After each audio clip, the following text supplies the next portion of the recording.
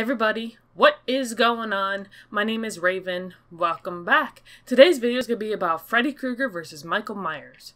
Who would win? Five reasons that Freddy would win, and five reasons that Michael would win. One reason that Freddy would win is he has the iconic gloves. Now, this is instead of Michael Myers having a little kitchen knife or chef knife, things like that. Freddy has blades on each of his fingers, which can be very damaging. One reason Michael would win, though, is because he has super strength. He can lift up a tombstone by himself, which is very heavy. Freddy is smarter than Michael. I don't know if that is true. Do you guys think this is true? Yes, Freddy Krueger has the manipulative, cunning part of his personality, and he uses that towards all of his other victims. He even used that against Jason when it was Freddy versus Jason. But there could be a downside to that, as he might try to overthink things. But who knows? Another reason that Michael might win is because Freddy's weakness is fire, when as we've seen, Michael really has no weakness. I mean, he's been shot, he's been blown up, been stabbed. It really doesn't matter. There's really no way to kill Michael as of now.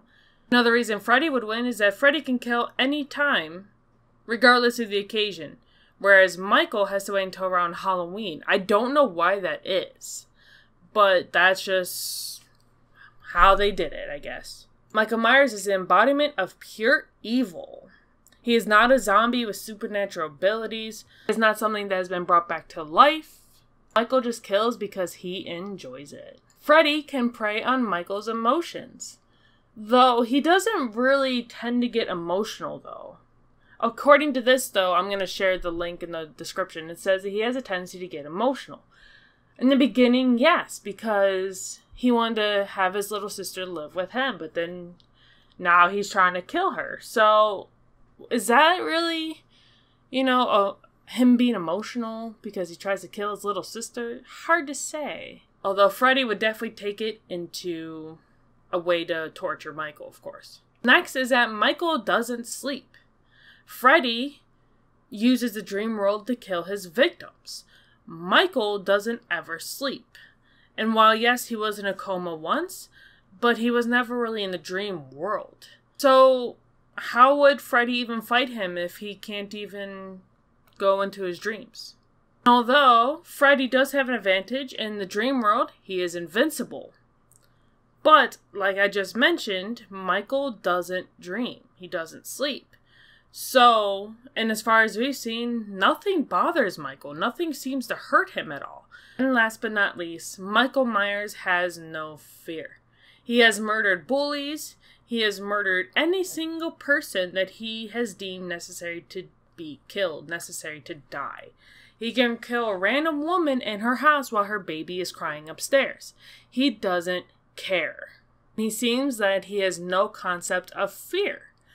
Therefore, Freddy's kind of ability to use people's fear as his advantage over them, like he did with Jason, he can't do that with Michael Myers. So, who would win? Freddy Krueger or Michael Myers? You'll have to let me know in the comment section down below and also let me know why you think that way.